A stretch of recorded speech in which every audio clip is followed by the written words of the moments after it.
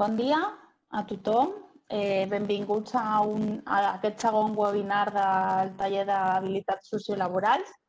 En aquest segon taller eh, farem una mica de menció a totes les proves que es poden donar en un procés de selecció de candidats, o sigui, des de tests fins a entrevistes, dinàmiques, tot el que es pugui veure.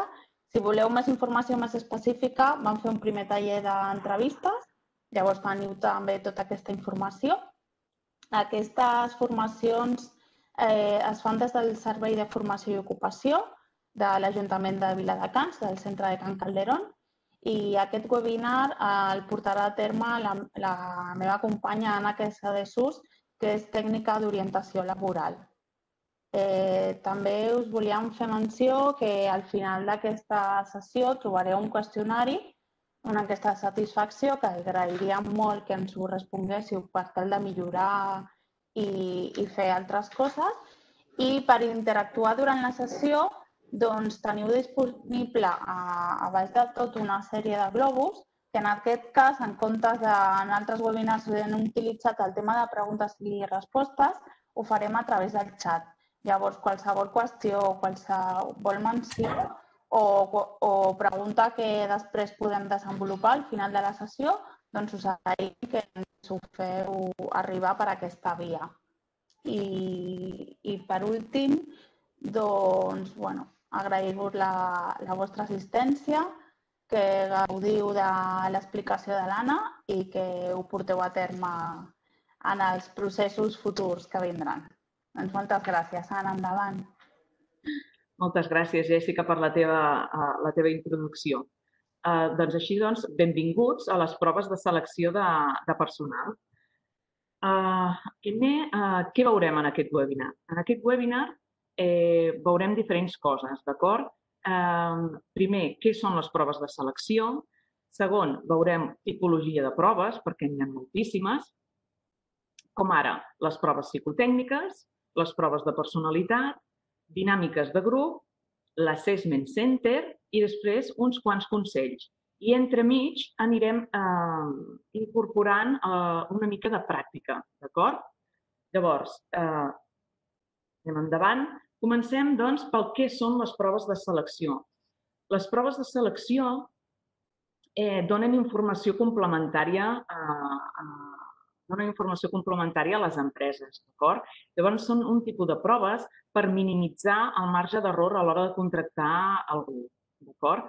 Llavors, s'utilitzen diferents i molts tipus de proves, ja siguin psicotècnics, com hem comentat, proves professionals o dinàmiques grupals. N'hi ha de molts tipus. D'acord? Eh, així doncs, les empreses poden comparar simultàniament diverses candidatures, d'acord?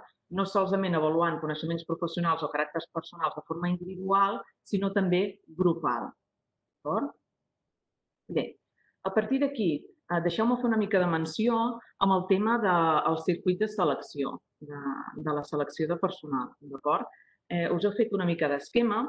Aquí, en un principi, eh, la selecció de personal, com podeu veure, és un procés de recollida i avaluació de, candidat, de, de, bueno, de candidatures relatives a un lloc de treball determinat.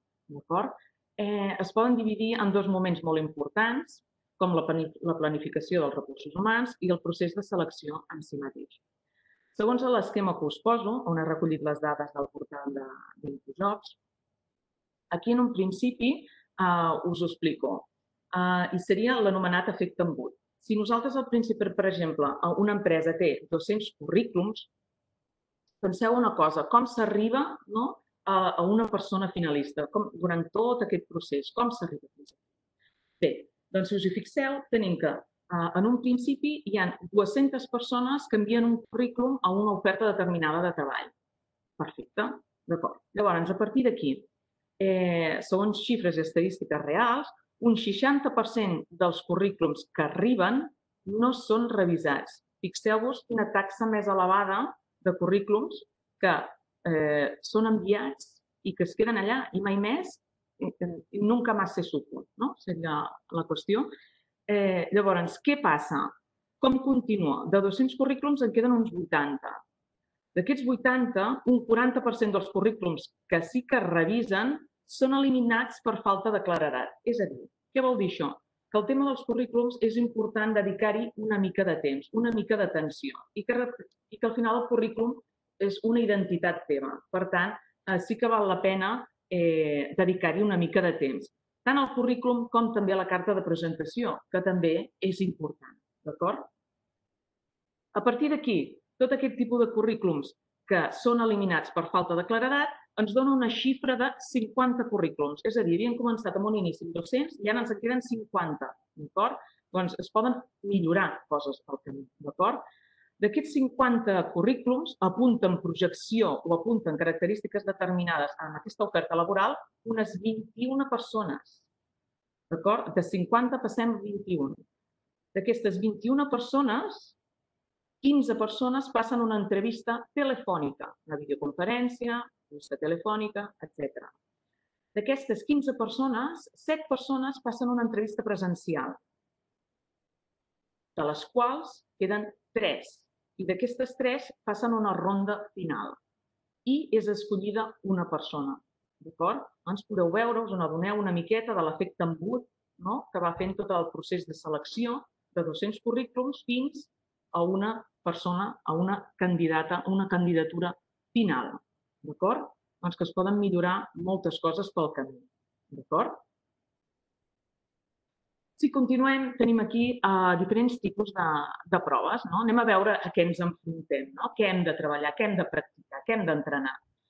Proves psicotècniques, proves professionals, dinàmiques de grup, el centre d'avaluació. Anem a veure una miqueta què és tot plegat. En principi, les proves psicotècniques són un conjunt de proves que situen l'aspirant, el candidat, davant d'una sèrie d'exercicis, unes qüestions, unes tasques eh, amb un objectiu i s'han de resoldre, d'acord? No solament és un exercici, un test, sinó que a vegades són una bateria, no? L'expressió l'heu sentit segurament més d'una vegada, una bateria de proves, d'acord?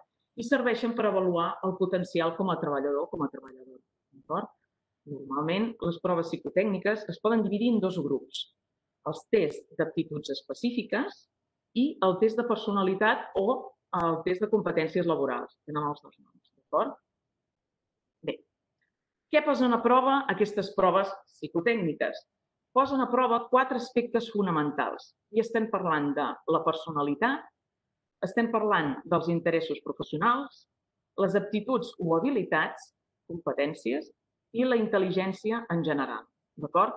Quan parlem de la personalitat, eh, s'estan avaluant aspectes com l'autocontrol, l'estabilitat emocional, etc. que són per perfils, eh, per exemple, parlem de perfils professionals com directius, especialistes de nivell i similars. D'acord? Encara que també en diferents tipus de perfils us els podeu trobar. D'acord? Interessos professionals?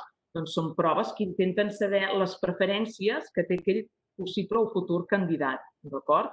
aquella persona que s'adaptaria bé a aquella eh, oferta laboral. En quant a aptituds o habilitats, sí que estan pensats especialment per comprovar la capacitat de la persona per realitzar determinades tasques. D'acord? Eh, recordeu, recordo que les aptituds, com està apuntat, són habilitats innates que es poden desenvolupar en, en, en pràctica i amb entrenament. D'acord? I després, per últim, la quarta seria la intel·ligència en general pretén mesurar doncs, la que seria la capacitat mental global de l'aspirant.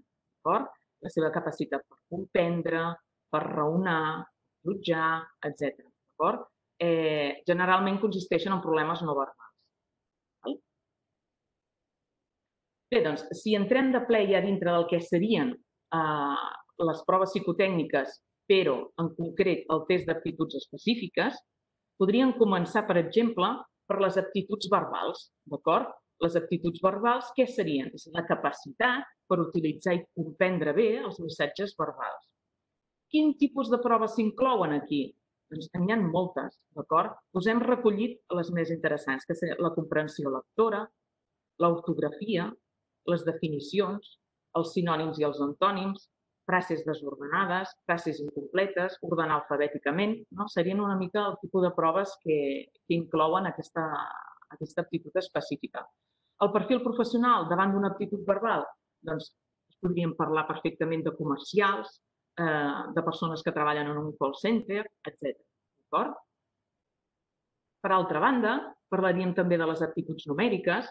Les aptituds numèriques doncs, és la manera o l'habilitat de fer servir nombres i de resoldre ràpidament i de manera correcta doncs, certs, certs problemes quantitatius. D'acord? Estaríem parlant, com bé sabeu, operacions de càlcul, problemes, matrius, agilitat mental numèrica, etc. D'acord? El perfil professional eh, que podríem eh, acompanyar aquestes aptituds numèriques, doncs estem parlant d'entitats, persones que treballen en entitats bancàries, assegurances, comptables, aptituds numèriques, d'acord? Bé, si continuem, també parlaríem de l'aptitud administrativa, per exemple, que aquesta ja, com bé diu el seu, el seu mateix títol, doncs, eh, acompanya perfils professionals com l'administratiu administrativa, secretària, tema de gestió d'arxius, etc. L'habilitat o la capacitat per desenvolupar correctament treball administratiu a les, a les oficines, d'acord? Amb eficàcia, d'acord? Quin tipus de proves s'inclouen? Doncs estem parlant de l'atenció, percepció i resistència a la fatiga, classificació, organització, arxius, etc. Comprensió de les ordres donades. I després també, per altra banda, a part de les aptituds, també parlaríem del raonament, per exemple, en aquest cas verbal. Hi ha molts tipus de raonaments i, eh, per exemple, raonament mecànic, raonament espacial, etc. Però eh, ens quedem amb el verbal, d'acord? També n'hi ha tantes que també no, no, no estaríem parlant de fer una sessió en el dia d'avui, estaríem parlant de fer-ne moltíssimes més, d'acord? Llavors, si ens centrem en el raonament verbal, el perfil professional seria de tot tipus, d'acord? I seria establir una relació lògica entre determinades paraules o conceptes, d'acord? Les més comunes, estem parlant d'analogies, paraules no relacionades, etc. Un exemple d'analogia, d'acord?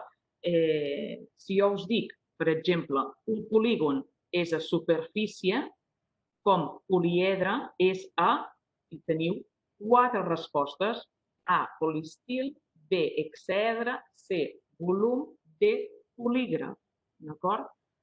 Repeteixo, tindríeu 30 segons per respondre a aquesta pregunta. Un polígon, aquesta analogia, un polígon és a superfície, com poliedre és a... Doncs amb aquest, amb aquest, eh, si ja teniu la resposta, jo ara us la dono, però seria volum, com poliedre és a volum. D'acord?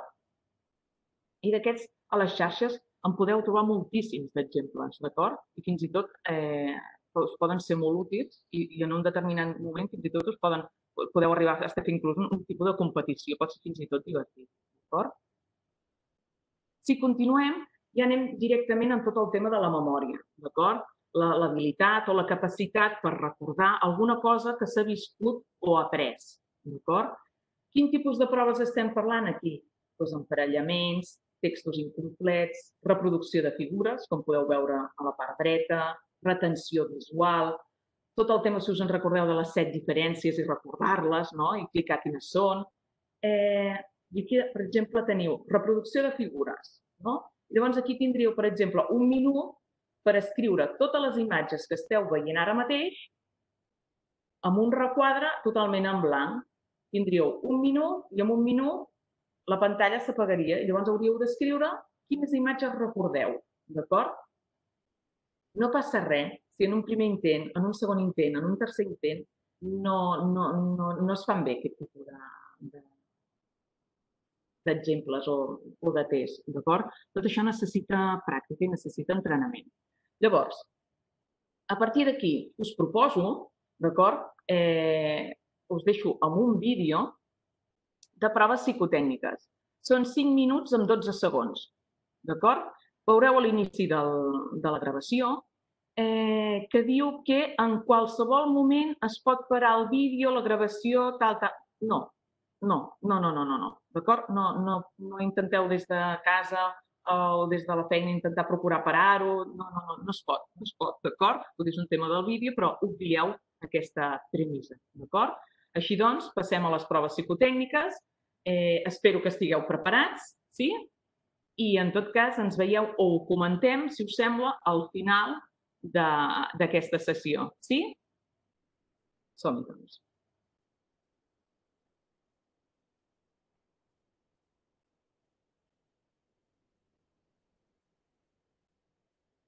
Sí?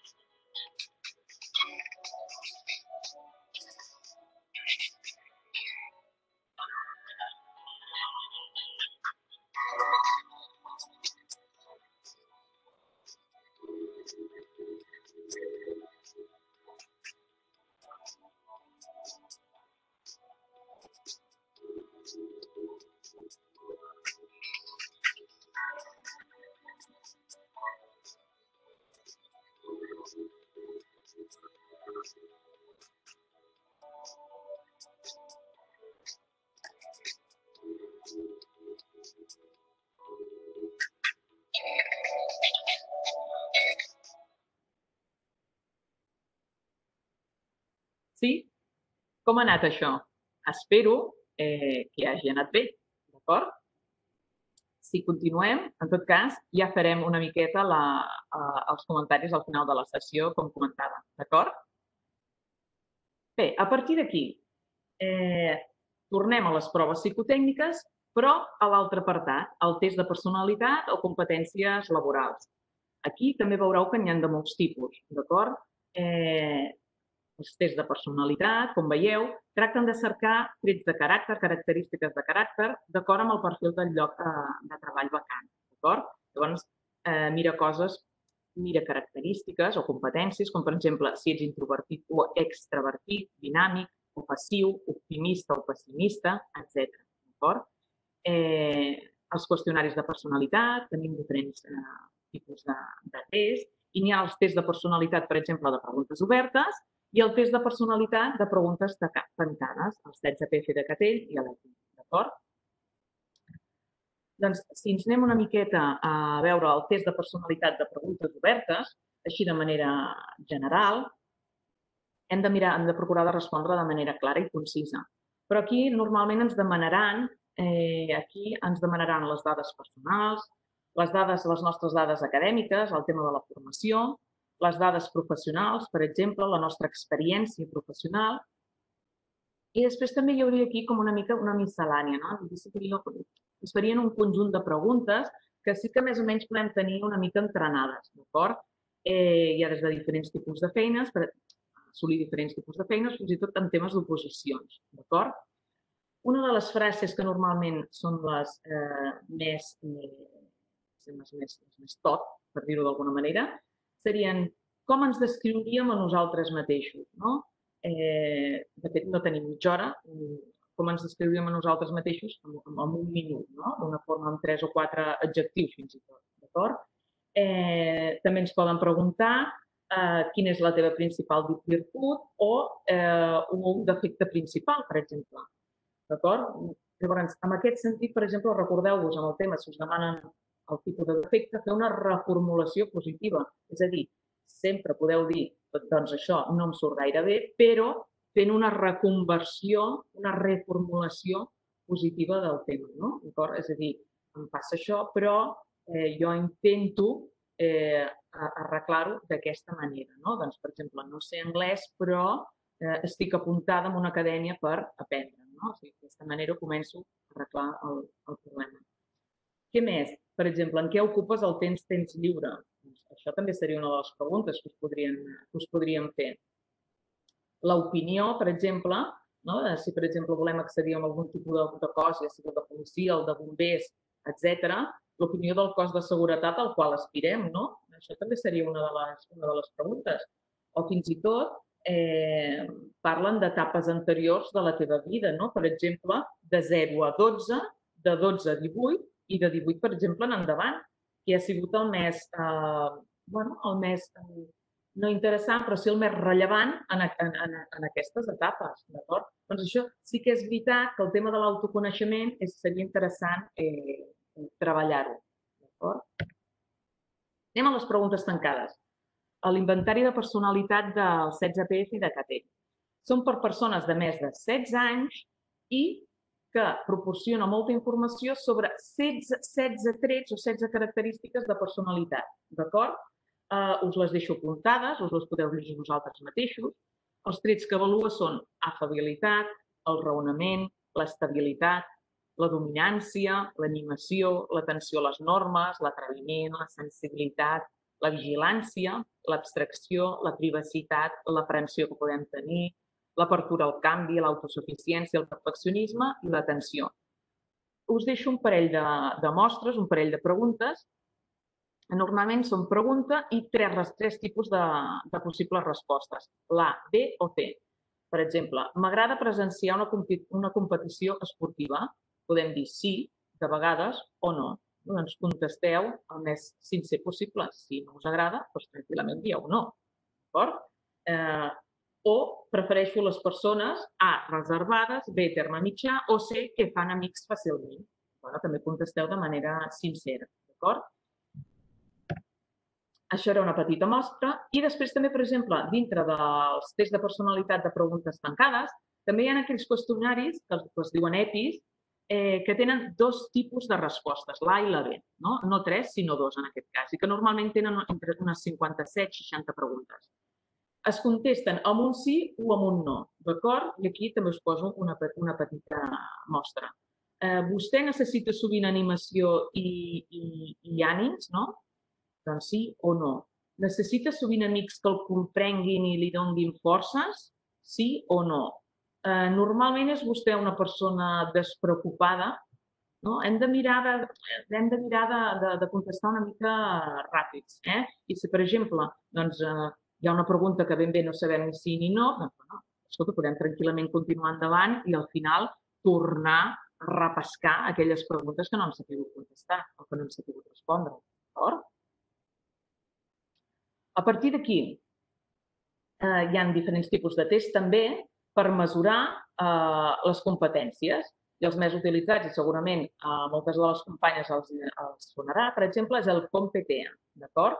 Us deixo un enllaç per poder, on hi ha diferents tipus d'exemples i mostres, eh, que són qüestionaris per avaluar competències personals i ocupacionals. D'acord? Uh, particularment en temes de selecció, formació, desenvolupament, orientació i coaching. D'acord?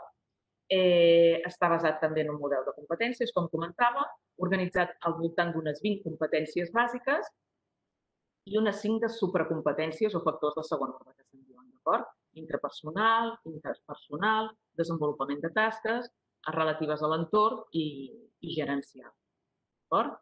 Eh, per altra banda, també tenim el tema del, del l'inventari de personalitat i competències, on també parla és, similar al competir, però eh, podrem veure les dimensions i les competències que, que contempla. D'acord? I aquí teniu una petita imatge perquè veieu com analitza les diferents competències. D'acord? Eh, també molt interessant.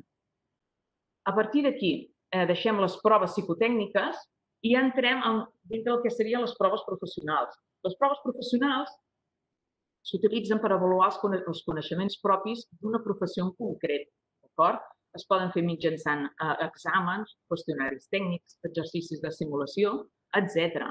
Aquí us deixo un, un, uns quants exemples, però, per exemple, eh, un examen de mecànica de l'automòbil si el lloc, per exemple, es desenvolupa en un taller.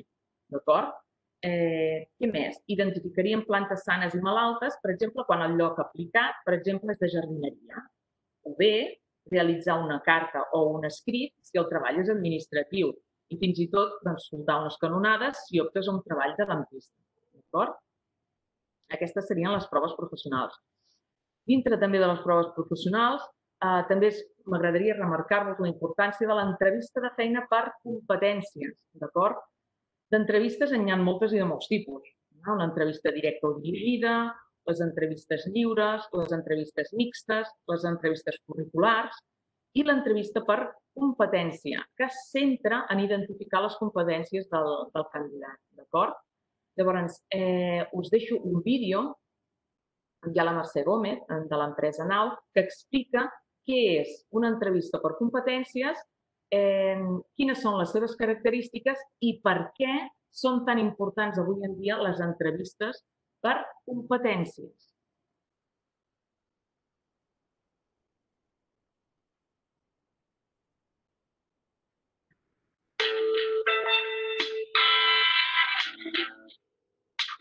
Competències és una entrevista que es fa en un procés de selecció de personal, que normalment es fa a la fase final ja de tot el procés de selecció, en el que, a banda de preguntar-te interessos, motivacions i altres coses que sempre has de sortir d'entrevista, el que van a buscar és evidències de que tu tens determinades competències que són necessàries per fer la feina. Per competències vol dir, més enllà de, de la part tècnica, que ja se suposa que en el currículum s'ha vist que tu tinguis la formació adequada, que tècnicament sàpigues fer la teva feina, que l'experiència, es vol veure com fas tu la feina, no tant el que has fet al llarg de la teva vida, sinó com fas. Llavors hi ha competències que són imprescindibles per feina i que potser això en el currículum no es pot veure bé, que és la teva capacitat que puguis tenir de comunicar, de relacionar-te amb les altres persones, de saber negociar, si tens iniciativa, si tens creativitat.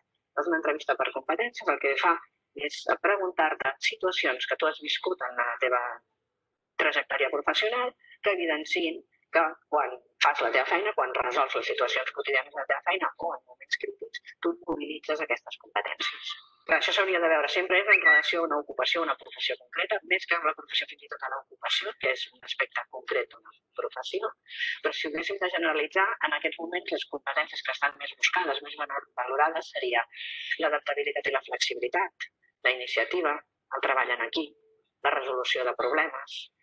Potser serien aquestes les, les més bàsiques en aquests moments. I saber tu qui ets com a professional i què hi pots aportar quin tret diferencial per la teva manera de fer. Seria una entrevista que s'aparta una mica, no perquè no siguin necessaris, sinó que ja sobre, es pressuposen titulacions i experiències, i llavors el que vas a, el que vas a buscar és explicar situacions. Per que has de fer és memòria, fer una mica de recerca en baúl dels records de la teva experiència professional, agafar realment la paraula experiència en el sentit de com he jo resolt les coses a la meva vida, especialment en moments crítics. En totes les feines hi ha moments que surten dificultats, que hi ha moments que són un repte. Doncs, els reptes que has solucionat satisfactòriament, pensar què he posat de mi, això ho he solucionat perquè realment sóc una persona que he sabut analitzar la situació, o perquè sóc molt innovador, o perquè he reunit el meu equip i l'he pogut fer. Doncs quan mobilitzes aquestes competències, això seria la teva part, és la teva fortalesa, i això és el que t'has de treballar per preparar una entrevista per competències, sobretot situacions concretes que exemplifiquin. Quan he parlat abans d'evidències, que evidenciïn, que exemplifiquin, que tu realment saps sortir d'una situació perquè apliques aquesta competència. L'avantatge d'una entrevista per competències és que no hem d'anar a buscar el que no, sinó el que sí. O sigui, el que seria un error seria no tenir memòria. I, per tant, com no l'hagis preparat i per preparat mai vol dir après de memòria, no és un paper de teatre, però sí que va bé que prèviament tu hagis fet emergir a un grau de consciència que te n'en recordis, exemples concrets, perquè no podran trobar evidència de competència si tu no t'hi expliques. En una entrevista el valor el tens tu. Allò que expliquis és el que evidenciarà la teva competència. Per tant, un error en una entrevista de competències és no anar preparat per poder explicar situacions. Si tu no m'ha passat mai, no m'ha passat mai, no m'ha passat mai, la persona que t'entrevista li és impossible que pugui veure quines competències tens tu. I per tant, has d'anar preparat amb molta memòria, molt haver rebuscat i haver pensat quins moments de la trajectòria professional són especialment significatius i què hi has aportat tu, com, com t'has desempallarat en aquella situació. Cada vegada més, perquè cada vegada més s'està veient que el currículum és insuficient. És necessari, però és insuficient. Dues persones que hagin treballat a la mateixa empresa, dues treballadors en el mateix càrrec, i per tant que posat la mateixa empresa, el mateix temps i les mateixes tasques, en realitat a l'hora de solucionar-ho poden haver sigut tan diferents les coses i l'empresa que ja ha vist que el currículum dona una informació important, però suficient, va buscar aquesta entrevista que t'explica amb tu com fas aquesta feina.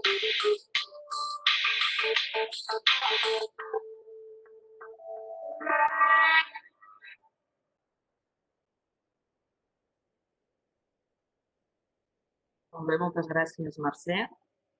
I continuem, doncs, eh, després d'aquesta fantàstica explicació de l'entrevista de feina per competències, eh, recordar una miqueta el tipus de competències professionals que hi ha, d'acord? A tall eh, per, recordar-ho, no? per refrescar-ho. Tindríem les competències tècniques, que són les pròpies per al desenvolupament d'una determinada tasca, d'una activitat laboral. Tindríem les competències de base, estaríem parlant dels idiomes, amb temes lectoescriptius, competències i també després les competències transversals, que estem parlant doncs, del conjunt de capacitats, hàbits i actituds, d'acord? Estaríem parlant, per exemple, del treball en equip, l'iniciativa, el lideratge, etc. Repeteixo, les competències tècniques, les competències de base i les competències transversals. Aquesta seria la, la classificació. A partir d'aquí, un altre gran bloc de tot el tema de, de les proves de selecció, de selecció de personal són les dinàmiques de grup. D'aquesta manera, eh, per un lloc de treball s'avaluen les competències de cada candidat, però de forma grupal. I aquí sí que hi ha moltíssimes eh, tipus de tècniques, d'acord? A partir d'aquí tenim diferents tècniques, com per exemple us, us assenyalo el tema foro, per exemple. Aquesta tècnica consisteix en una presentació col·lectiva d'un tema on cada candidat té que aportar, ha de fer un argument, no? ha de fer la seva pròpia argumentació, l'ordre de les idees, coneixements, etc. En segon terme, tindríem un debat, no? ja com indica també la mateixa paraula, eh, cada candidat té que defensar el seu propi posicionament a favor o en contra, d'acord, sobre un tema. ter en tercera posició tindríem la pluja d'idees, d'acord?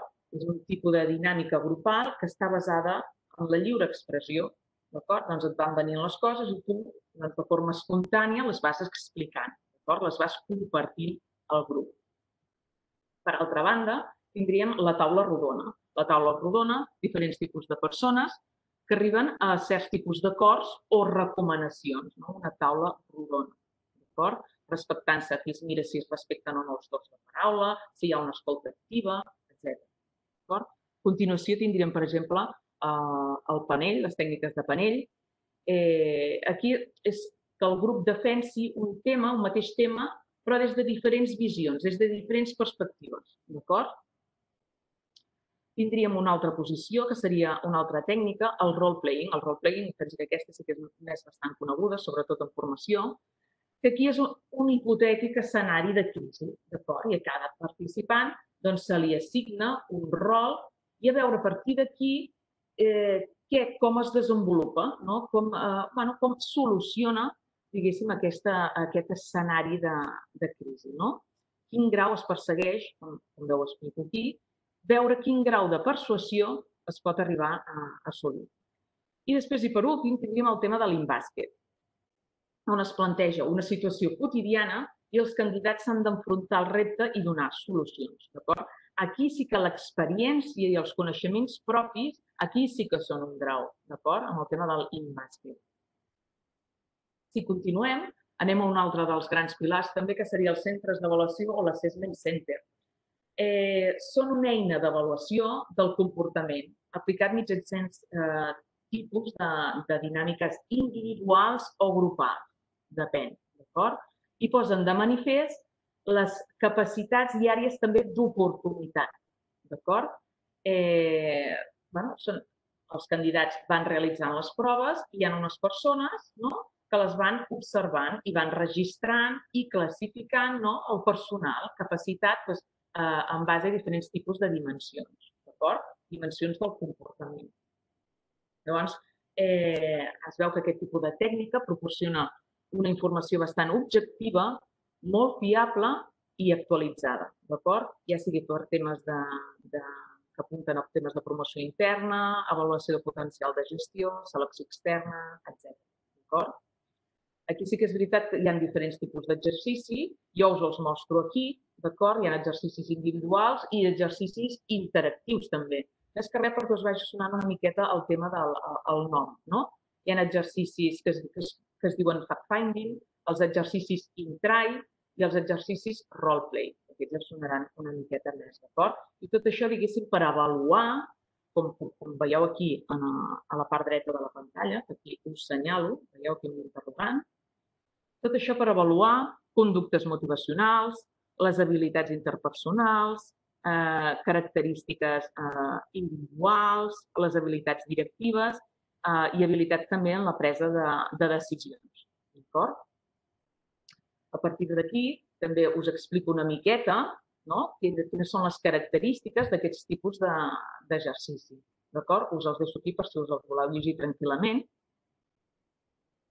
I a partir d'aquí sí que m'agradaria eh, mostrar-vos un procés de selecció específic d'una empresa de Viladecans, d'acord? És Unilever, sí? Llavors, eh, us mostro un vídeo, un petit vídeo, i en tot cas, si voleu, o ja a la part final, doncs ja eh, també en fem una mica de, de, de lectura.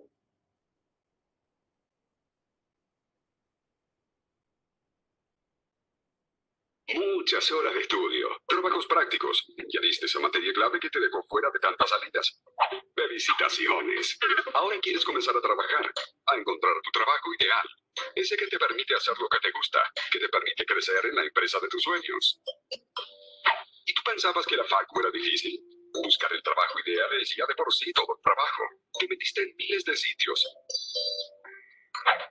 Te cansaste de mandar tu CV, hasta googleaste foros sobre cómo encontrar mi trabajo ideal. De pronto, te llamaron de un Unilever. Muy bueno, pero esto recién empieza. Muchas personas te van a querer dar recomendación. No hagas esto, haz lo otro, anécdotas y fórmulas mágicas. Todos pasamos alguna vez por esto tenemos el amigo que se lo sabe todas. Antes que nada, tranquilidad.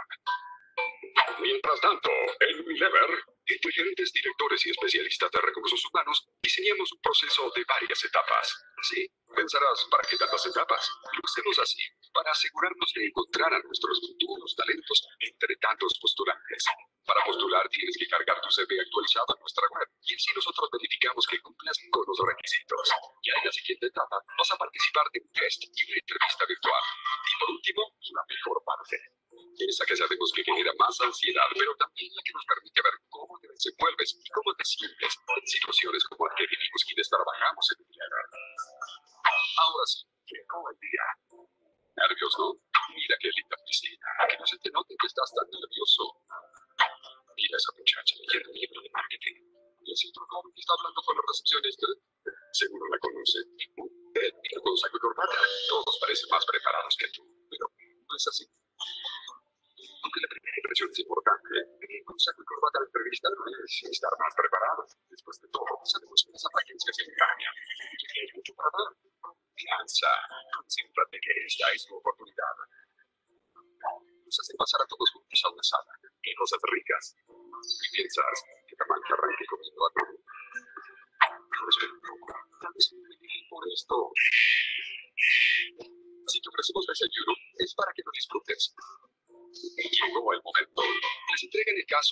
analizzati per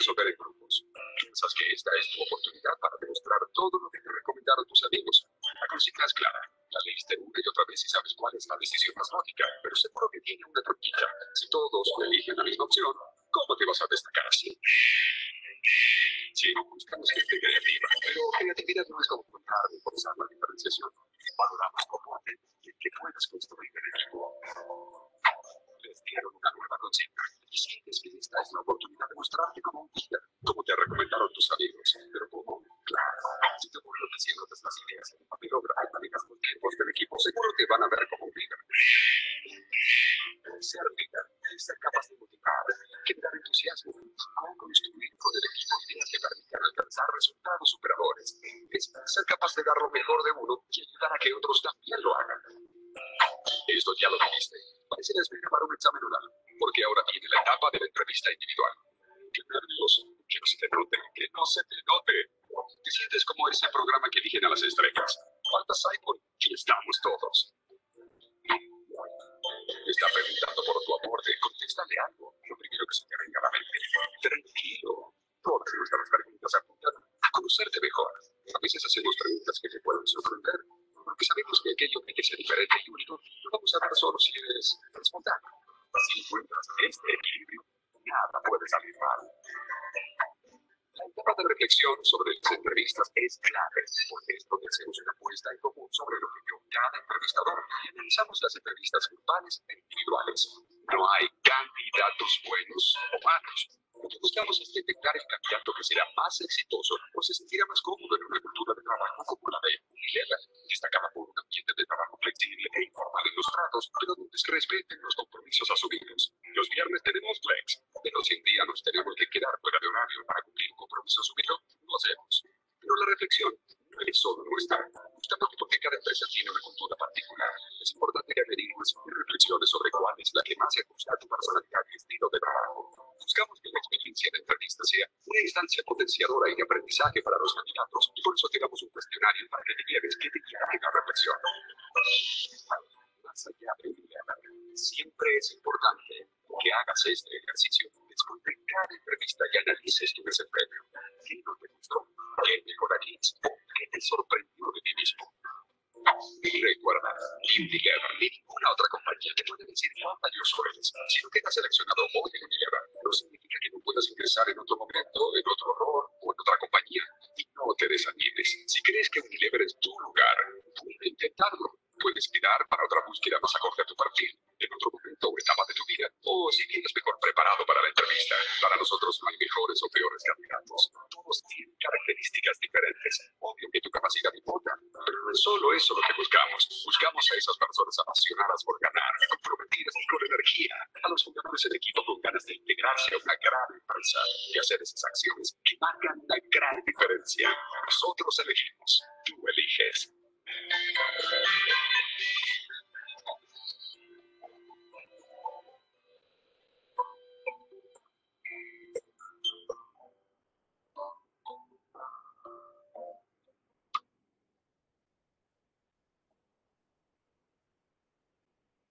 espero que us hagi agradat i que hàgiu après amb aquest uh, vídeo d'Unilever. A partir d'aquí arribem ja a la, a la part final de, de la sessió amb quatre consells generals. Sí que és interessant que abans de començar eh, a preparar tot aquest tipus de proves eh, eh, comenceu doncs, a, a recopilar eh, informació, informació eh, de quan entreneu, per exemple, aquest tipus de proves que estigueu en un lloc tranquil, com comentem, que estiguis envoltat de tot el material necessari per poder-ho fer amb, amb, amb, amb calma, no? Sobretot pensar que tots estem més, més capacitats per unes actituds que per unes altres, no? I, i que, però que tot es pot treballar i que tot es pot entrenar? Hem de mirar de treballar ràpids i també no sense perdre gaire temps. Sobretot llegir i escoltar molt bé el que et diuen o, o, i escoltar no? tot el tema de l'escolta activa. Això també és molt, molt important, d'acord? Consells específics aquí tindríeu els que creiem que poden ser més, més interessants per vosaltres. El tema de la sinceritat, d'acord? Eh, no val la pena intentar donar una determinada imatge. Vosaltres sou com sou, no? Doncs sinceritat per davant, no? Eh, pràctica, no? És un tema de practicar, com hem dit al llarg de tota la sessió, d'escoltar i llegir amb atenció les instruccions, anar amb tranquil·litat, tranquil·litat però també amb rapidesa. Veieu? És aquesta balança no? que veiem també aquí amb Unilever, no? que és una mica de buscar aquest eh, equilibri, no? de fet no només amb les proves sinó amb tot una miqueta. D'acord? Eh, un tema molt important, uh, Unilever es parlava de confiança i a mi també m'agradaria remarcar-ho, el tema de la confiança, perquè eh, quants de nosaltres ens hem preguntat a vegades per què no em truquen per cap entrevista o per què no passo la fase de l'entrevista? sí, sí, que alguna vegada ens ho hem preguntat, no? Però sí que és veritat que cada persona té un talent, que no es tracta d'escollir la, la, la, la millor persona, sinó la que millor s'adapti a, aquell, a, a aquell lloc de treball i fins i tot el, el tipus d'empresa, de, de, no? El que us vull remarcar és que cadascú té habilitats eh, diferents, d'acord? I té característiques diferents. Val? Llavors, us vull deixar amb una metàfora que diuen, no, no està gaire segur el tema, que és d'Albert Einstein, us la, us la llegiré. Què diu? Diu, todos somos genios. Diu, pero si juzgas a un pez por su habilidad de trepar árboles, vivirà toda su vida pensando que és un inútil. No? Llavors, a partir d'aquí, us deixo una miqueta amb aquesta, amb aquesta reflexió i amb totes les que hem fet al llarg d'aquesta sessió. I ja sí que eh, us deixo ja amb, amb, amb una diapositiva final recordant una miqueta el tema de les competències, que són importants, iniciativa, organització, responsabilitat, d'acord? I ara sí, ara sí que ja dono pas a, a la Jèssica, d'acord? Aquí teniu el material per preparar les proves, d'acord? Un llibre, de fet, us el puc ensenyar d'aquí, si mireu, el llibre, sí, que seria el primer, de proves psicotècniques, val? per si és del vostre interès. I a partir d'aquí dono pas a la, a la meva companya, la Jèssica, Jèssica Gómez, quan vulguis, d'acord? Ja per si hi ha dubtes, preguntes, suggerències, eh, endavant. Vale. Mira, Anna, moltes gràcies. Crec que ha estat un webinar molt enriquidor i amb molta informació que tothom pot aportar. Com a pregunta, se'ns ha arribat una que m'ha fet gràcia, no? però te la traspasso, que és de, sobre el primer vídeo que, que, que hem passat, el tema de les respostes correctes o incorrectes, no? És a dir, com sí. ho faig si, si, si no et dona ni una resposta correcta, no? És a dir, què faig i com, bueno, on puc trobar material no? per, per posar-ho en pràctica? A veure, uh, sí que és veritat, eh, que tot això és un tema de pràctica, d'acord? Ho hem repetit al llarg d'aquesta sessió no em cansaré de repetir-ho.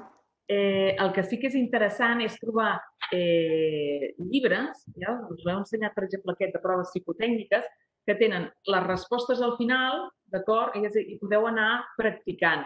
Eh, és complicat. Hi ha un, un percentatge molt baix de persones que responen correctament tot el reguitzell, no? tot aquest tipus de proves eh, psicotècniques. Per tant, calma, d'acord? O sigui, no, no us agobieu en aquest sentit.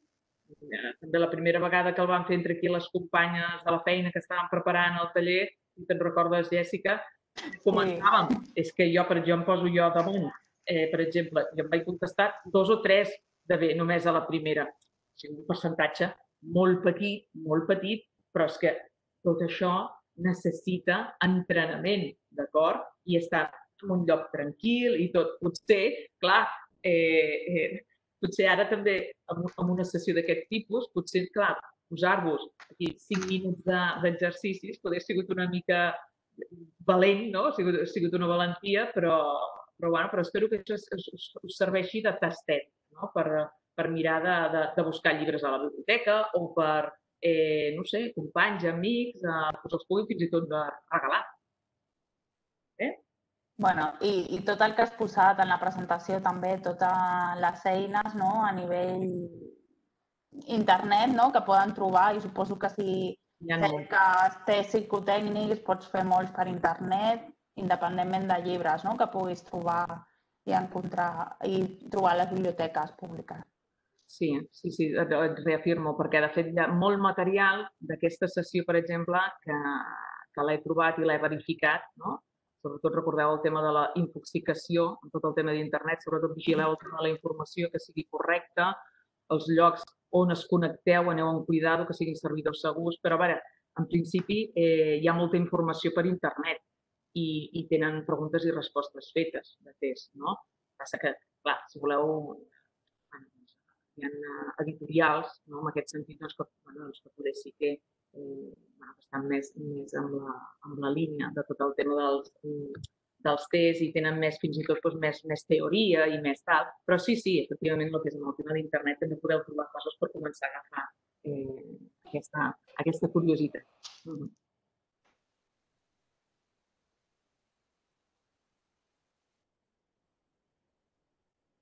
Sí?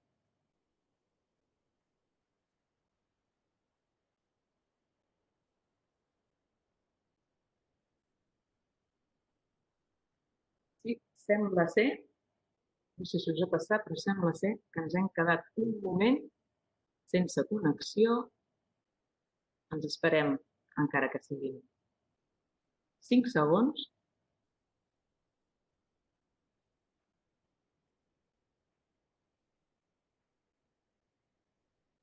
A veure si podem recuperar la connexió.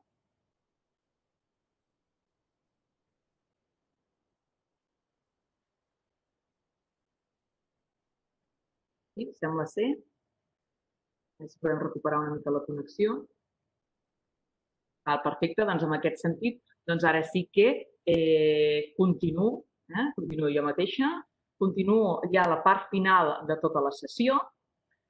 Eh, tindríem, eh, us comento ja els pròxims eh, tallers, els pròxims webinars que es fan dimarts i dijous a Can, Calder, a Can Calderón.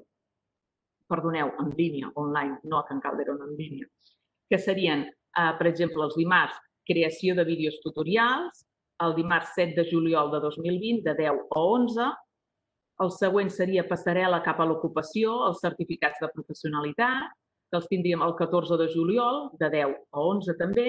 I aquí les inscripcions les podeu fer a l'aula oberta, a aulaoberta arroba viladecans.cat amb el telèfon 93 635 1804 de 9 a 2, d'acord? I, per altra banda, els tallers o els, web, o els webinars del dijous, que són els següents. Comunicació digital i social eh, amb nous mecanismes de vendes. Dijous, 2 de juliol, de 4 i mitja a 5 i mitja. D'acord? El següent seria el 9 de juliol, molt interessant, practica la venda de tu mateix a través de l'elevator pitch, d'acord? Continuant amb la línia de tot el que són els, els tallers de microentrevistes, proves de selecció de personal, etc, al igual que la resta. Talent logístic en la PIME, recomanacions per un món digital. Això seria el dijous 9 de juliol de 4 i mitja a 5 i mitja, d'acord? Inscripcions les podeu fer a ocupació, ocupació arroba viladecans.cat. Telèfon 93 635 1804, de 9 a 2. I ara sí que entraríem quasi a la, a la recta final. Tindríem les eines, unes eines que us volem comentar per estar al dia. Molt ràpid. El, hi ha un newsletter eh, d'ocupació setmanal, que passem de forma setmanal, eh, relacionat amb temes de, de, del servei d'orientació laboral online, d'acord? Si teniu dubtes en tot aquest, eh, o suggerències, llavors les podeu, eh, eh, podeu, podeu trucar, per exemple, doncs al servei d'orientació online de Can Calderón, d'acord? Què més? Uh, hi ha un parell de guies, que són la guia de mesures d'ocupació i després la guia d'oferta de formació online a la ciutadania. D'acord? Eh, també molt interessant, sobre temes formatius i més que res per no estar aturats, d'acord? O sigui que hem d'estar actius, eh? amb energia. I a partir d'aquí sí que eh, m'agradaria comentar-vos que Can Calderón està obert, però eh, mitjançant atenció presencial, mitjançant eh, cita prèvia, d'acord? Cita prèvia, per una banda, al Servei d'Informació i Orientació Laboral, el 93 635 1804 de 9 a 2 i per altra banda, Viladecans Atenció a les Empreses, el 93 635 29 96 de 9 a 2. I ara sí que ja eh, ens despedim de tots vosaltres. Moltíssimes gràcies per la vostra assistència i us esperem en els pròxims webinars. D'acord? Adéu-siau.